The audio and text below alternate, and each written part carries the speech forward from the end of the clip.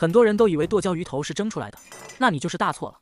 其实不用蒸的剁椒鱼头更好吃。先把鱼肉厚的地方打上花刀，这样会更方便入味。油热倒入葱姜蒜，炒出香味，放入金针菇。喜欢吃腐竹的来点豆皮，有条件的再来点豆腐。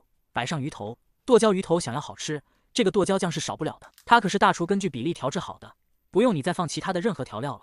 淋入点生抽提鲜，倒入一瓶啤酒去腥增香，扣盖小火焖煮十五分钟即可出锅。这样做出来的剁椒鱼头肉嫩味美，连汤汁都可以吃俩大碗米饭。